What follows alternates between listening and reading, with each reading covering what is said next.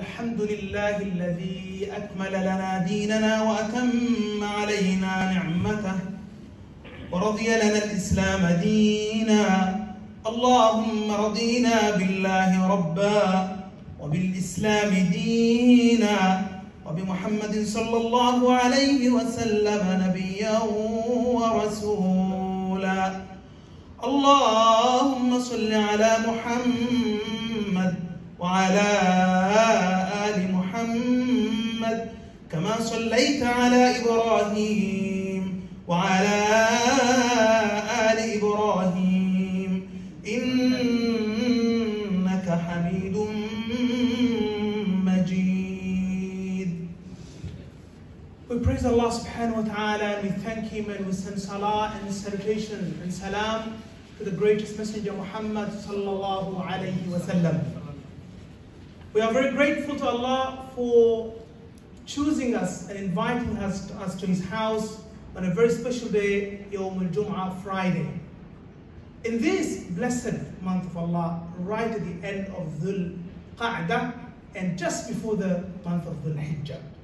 So Qa'dah মাসের শেষে এবং Dhul Hajj মাসের একবারে শুরুতে আল্লাহ পাক রব্বুল আলামিন আপনারা আমার আজকের এই পবিত্র জুমার দিনে আল্লাহর পর মসজিদে আওয়ার এবং বার তৌফিক দান করলে সকলে হয় আলহামদুলিল্লাহ We thank Allah subhanahu wa ta'ala. Brothers and respected elders and uh, my sisters will be listening, watching later on um, through the YouTube. Um, خير أيام الدنيا تلك الأيام. One of the poets, he said, the best days of, of Allah, the best days of the world, dunya, is these days, these days of Dhul Qa'dah and Dhul Hijjah, especially Dhul Hijjah, the first 10 days. فيها أمهات العبادات اجتمع. In it, all the major ibadah, worship, has been gathered. Best days of Allah, all the beautiful worship and major and virtuous uh, worship of Allah has been gathered in those days. وفيها أبواب الغفران انفتحت. And in these days, the doors of forgiveness have been opened. مغفرة الدرجة كلويسة. أي برطمان دينجولا مدة فخفف من متاع الدنيا. So reduce the worldly enjoyment. دنيار زي busy. এবং دنيار زي مشغول انشغال. يقول لك من الخمار فخفف من متاع الدنيا. وقل so reduce the, the, the busyness of the world وقل لبيك اللهم لبيك say لبيك اللهم لبيك slogans of Hajj oh Allah we are here right in front of you لبيك لا شريك لك لبيك and we are here oh Allah and there is none worthy of worship except you there's no partners with you now brothers and sisters as you know our Prophet Muhammad sallallahu alaihi wasallam spoke high he spoke highly of these 10 days of the Hijjah so he says in a hadith mentioned by Ibn Abbas, the narrator Ibn Abbas radiallahu anhu, he said, قال رسول الله صلى الله عليه وسلم, the Messenger of Allah صلى الله عليه وسلم said, ما من أيام العمل الصالح فيها أحب إلى الله من هذه الأيام. There is no better, there are no better days in terms of the acceptance of the deeds than these 10 days, these days of Allah. يعني أيام العشر, these 10 days. قالوا يا رسول الله, Sahaba asked, O Messenger of Allah sallallahu alayhi wasallam, وَلَا الْجِهَادُ فِي سَبِيلِ اللَّهِ Even no jihad, struggling in the path of Allah?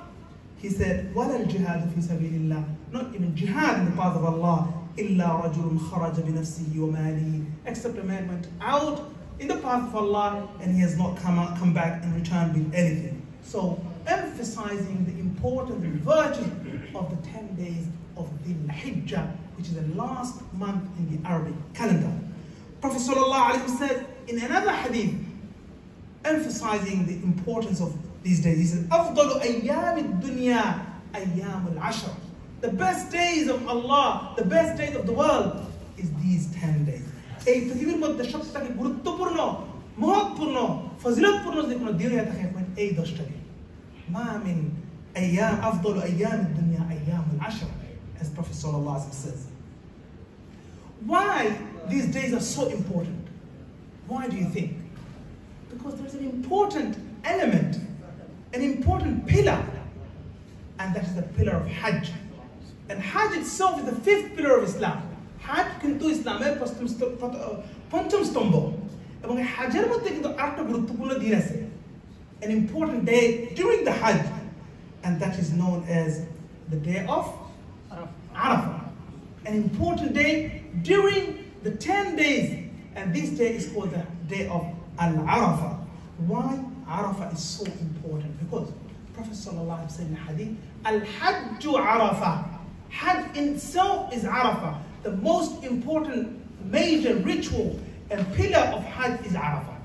সবথেকে গুরুত্বপূর্ণ হজের যে খাম এই খাম হইল গিয়া আরাফার দিন এই জন্য রসুল করিম সাল্লাহ আলাইহি Al-Hajju Arafah. Hajj itself is Arafah.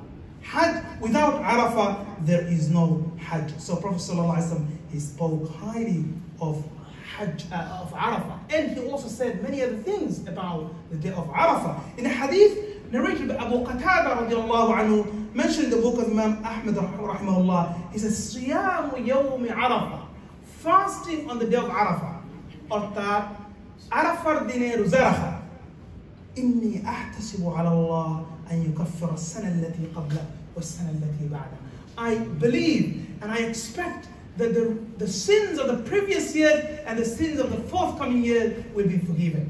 The future and previous years, sins will be forgiven. رسول الكريم صلى الله عليه وسلم কয় যে আরাফার দিন একদিন করে রোজা কি তা করবো ফজিলত যে গত বছর এবং আগামী বছরের যত গুণ আছে সব গুণ আল্লাহ রাব্বুল আলামিন মাফ করে দেয় সুবহানাল্লাহ so prophet sallallahu he said siyam yawm arafah fasting on the day of arafah which none of us should miss inshallah that it will expiate and remove the sins of coming year and the past year. Doesn't mean that we should stop committing sins. It doesn't mean that we inshallah will fast and then sins will be forgiven. No. We must not of course uh, intend to commit any sin. But any sins that unintentionally done unintentionally committed will be forgiven by Allah subhanahu wa ta'ala just because of one fasting. The fasting on the day of Arafah. When? On the day of Arafah. Inshallah, all of us will be fasting on the day of Arafah. Is everyone ready, inshallah? Yes. So this is the day of Arafah. Now, Prophet Wasallam also is saying in another statement that Allah is proud of the people of Arafah. Allah subhanahu wa ta'ala, He is proud.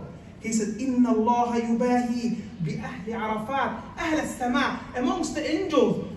Allah subhanahu wa ta'ala, He Himself is proud. Allah Rabbul Alamin, গর্ব বোধ করেন আহলুল আরাফাত মানে আরাফাতের মধ্যে যারা অবস্থান করা তারা লইয়া আল্লাহ পাক রব্বুল আলামিনে তাই আসমানের উপরে গর্ব বোধ করেন why because people there really came from all over the world from each and every single corner and each and every single uh, uh, the, the parts and corners of the world coming in one place and they have nothing but to uh, uh, but to admit that there is none worthy of worship except one Allah and they are worshipping Allah alone and they have left everything materialistic, the dunya behind, and they are right in front of Allah subhanahu wa ta'ala.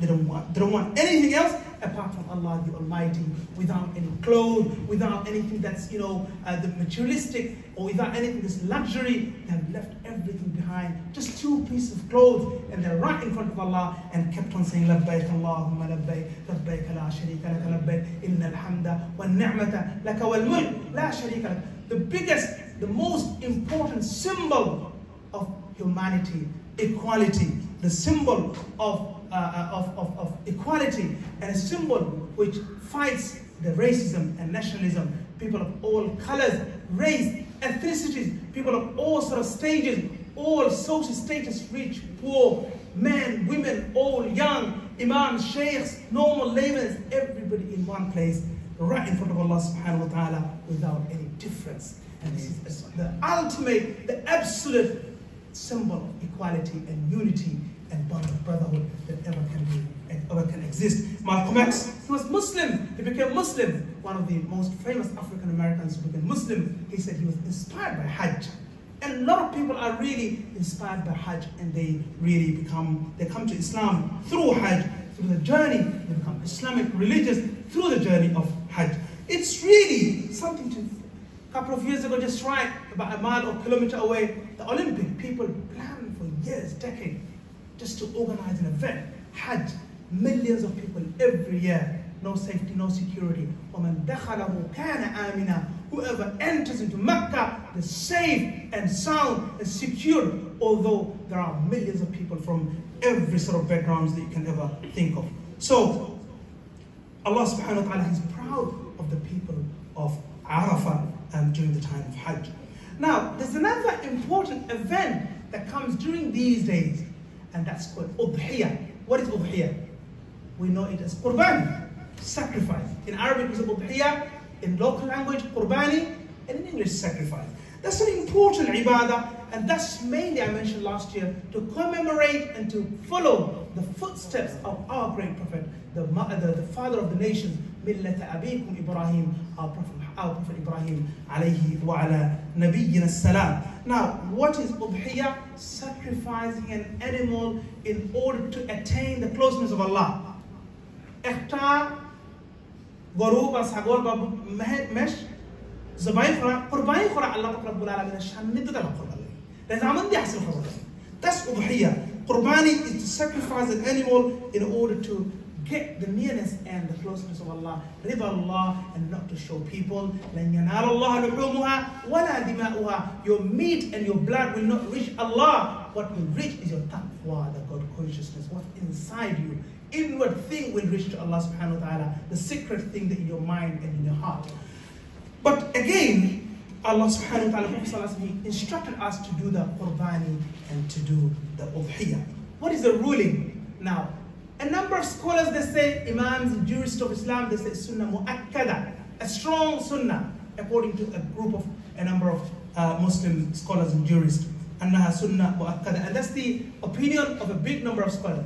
But also, it has been said that it is uh, wajib and that's the second opinion أنها واجبة على المستطيع القادر فقط هو قول It's wajib according to Imam Abu Hanifa and according to some other Imam. So there are two opinions in the matter of uh, uh udhiyah, whether it's sunnah muakkada or wajib. So there's two opinions, sunnah muakkada according to Shafi'i, according to uh, uh Maliki and Hanbali, Hanafi and some other scholars say it's wajib. But whoever can afford, zarar, qurbani, there are jogotar, zarar, মানে ইয়ে আছে যারা ability It's তারা লাগে এটা not to go and borrow money from here and there and do the qurbani and sacrifice. No, but whoever can afford for them, it's wajib according to Imam Abu Hanifa and his school.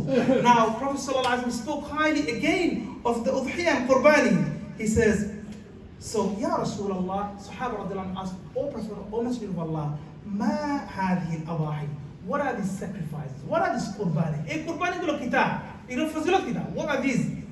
Then Prophet ﷺ said, Sunnat abikum Ibrahim, the sunnah of your father Ibrahim alayhi salam. They said, so what's, what does it have with us? Like, how is it benefit, uh, benefiting to us? Then Rasulullah said, بِكُلِّ شَعْرَ حَسَنَ Every hair of the animal you get reward. Every hair, For every hair you get reward. then قالوا فالصوف يا رسول الله every small hair لكل شعرة من الصوف حسنة even the small small hairs you get reward for each and every single one of them the reward so it is indeed a great worship and a great ibadah تقربا إلى الله سبحانه وتعالى how do we really distribute the qurban so it says the sun, uh, according to the scholars of Islam, ومن المستحب تقسيم الأضحية إلى ثلاثة أجزاء. It is mustahab recommended to distribute the udhiyah qurbani into three different uh, portions, three portions. Then he says, one portion should go to your neighbors and your friends. তিন ভাগে ভাগ করতে আপনার কোরবানি দেয় এক ভাগ যাইতো আপনার ফ্রেন্ড বন্ধু এবং আপনার প্রতিবেশী বড় প্রতিবেশী আছে to your friends and neighbors and then the second portion should go to the fuqara, the needy, the people who are uh, destitute, people who are in need. You know, it should go to the them, the second portion. And the وَيُبْكِي ثُلُثُهَا لِأَهْلِ بَيْتِ And third portion for yourself. You eat for yourself. This is how the qurbani should be uh, uh, distributed and it should be categorized. Three different portions, one for neighbors and friends, the other one is for the poor people, and the third one for our own selves. Then, you know, um, our Prophet ﷺ said, look, Islam is a very interesting religion. Not eating is ibadah, right or wrong. When you fast, it's ibadah. But now, Siam shadu na khora ite ibadah. Khawaq idar ibadah. Worship and eating is another worship. Not eating is worship, and eating is also worship, and that's during the عيد الأضحى الرسول صلى الله عليه وسلم said in hadith إن يوم عرفة ويوم النحر وأيام التشريق عيدنا أهل الإسلام وهي أيام أكل وشرب So Prophet ﷺ said that Ayyam al these, these 10 days, the Dhul Hijjah, the month of Dhul Hijjah, he said these are the days of Allah subhanahu wa ta'ala, these are the days of sacrificing, these are the days of tashriq, these are the days of takbir, Allahu Akbar, Allahu Akbar, La ilaha illallah, Allahu Akbar, Lillahi alhamd, labbaik. These are the days of takbir. And he says, these days are the days of eating and drinking. These days are the days of eating and drinking. And you get a reward for eating and drinking. Subhanallah. What an interesting religion. Eating itself is ibadah, and not eating also ibadah. So Prophet ﷺ, he considered that this, are the days of eating and drinking, of course, within the limits. Not like you eat too much and then you can't even walk and breathe. So thuluthun, uh, you know, uh, one third for, for the breathing, one, one third for, for water, and one third food. And that's how Prophet ﷺ, he said that we should be having our food. But unfortunately, it's difficult for our people, Muslim community. Uh, it's very difficult to maintain this uh, prophetic um, instruction when it comes to uh, consuming food. Now, the last thing I want to mention, where do you do the qurbani or dhiyah? Where do we do it? Should we do it locally or should we do it elsewhere? Now, originally, it's better to do where you are. মানে আমরা কোন জায়গায় কোরবানি করতাম যেন আসি যে স্থানের মধ্যে করতাম নি না বাইরের দেশে করতাম কোনটা করলে ভালো আসলে লোক যে আমরা যেন আসি this is how it should be wherever you are it's better to do it locally where you are but the scholars of Islam they permitted that you can do elsewhere if the people are more in need for example we eat meat every day like is there a problem having meat I'm not the one who meat every single day we have to have uh, like big portion of meat for some of us we have meat almost on a daily or weekly basis, but there are people in this world.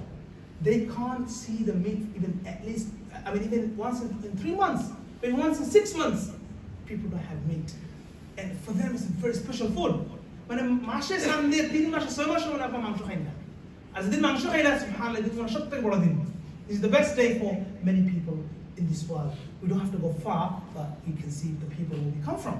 And that's how it is. So some scholars, they say, by looking at the need of the people elsewhere, you can give the qurbani um, outside your country as well. That's also rewarding if you have the good intention. People, for example, suffering in uh, Yemen, in Burma, say, for example, in, in, in other uh, difficult parts of the world, and even, you know, including Bangladesh, Pakistan, India, um, Somalia, we, we see people are suffering, we can do the qurbani over there as well. So uh, it's all up to you, inshallah. May Allah subhanahu wa ta'ala give us the ability to worship Allah subhanahu wa ta'ala, give us the ability to maintain and to observe the good deeds during these 10 days, um, especially the fasting on the day of Arafah, Qurbani, and all the major ibadah. Of course, more information you'll find with scholars and in the books, and inshallah, you watch and hear from other scholars. Thank Jazakumullah khair for listening. Attending the adhan will be given.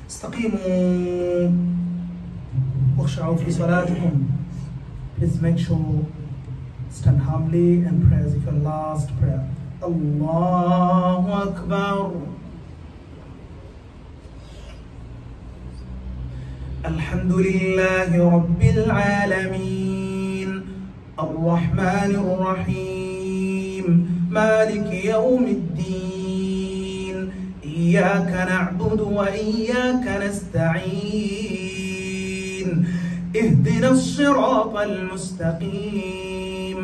صراط الذين أنعمت عليهم غير المغضوب عليهم ولا الضالين.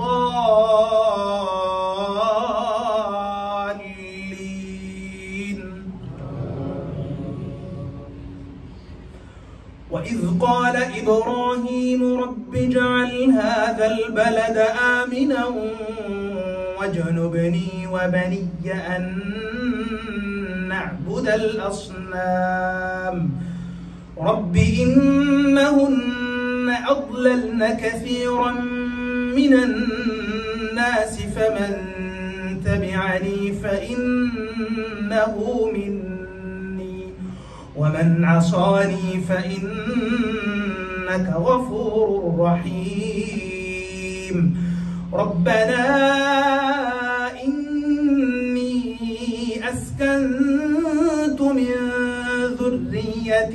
بواد غير ذي زرع بواد غير ذي زرع عند بيتك المحرم. ربنا ليقيموا الصلاة فاجعل أفئدة من الناس تهوي إليهم وارزقهم وارزقهم من الثمرات لعلهم يشكرون ربنا إنك تعلم ما نخفي وما نعلن وما يخفى على الله من شيء في الأرض ولا في السماء. الحمد لله رب العالمين الرحمن الرحيم مالك يوم الدين. إياك نعبد وإياك نستعين. اهدنا الصراط المستقيم صراط الذين أنعمت عليهم غير المغضوب عليهم ولا الضالين.